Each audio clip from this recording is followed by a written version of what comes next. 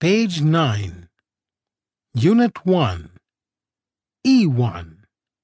Listen and draw in your notebook. Open your books, children. You're going to draw a picture. Listen and draw what I tell you. Draw a box.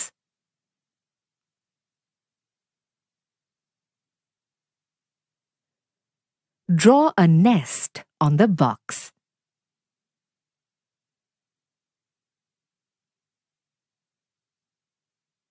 Draw an egg in the nest.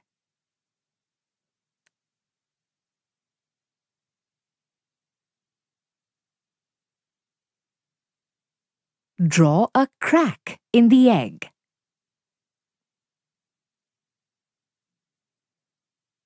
Draw a leg in the crack.